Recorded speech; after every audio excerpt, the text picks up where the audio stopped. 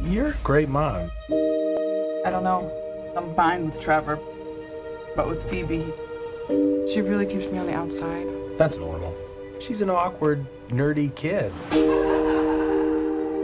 Maybe a new home can be an opportunity to start fresh. I just wish she'd get into some trouble. There's still time.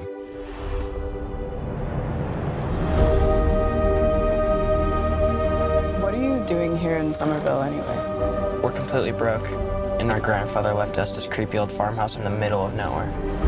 Your father wasn't much of a homemaker. He could hardly keep the power on. You're saying he left us nothing?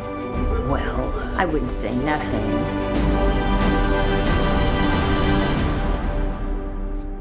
You went with the station wagon? It's the only one that had an engine.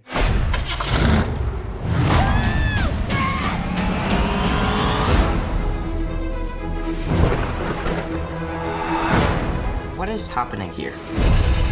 Somehow, a town with no fault lines is shaking on a daily basis.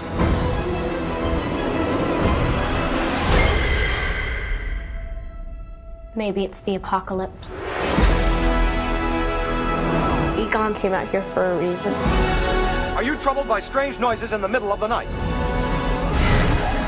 Do you experience feelings of dread in your basement or attic?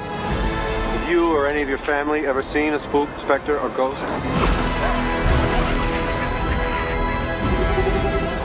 Oh my god. You guys hear that? Something's coming. The whole city. It's like The Walking Dead.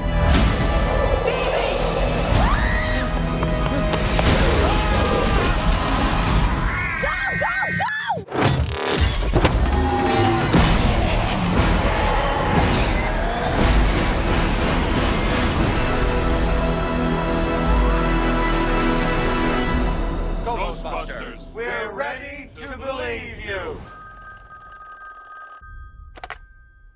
We're closed.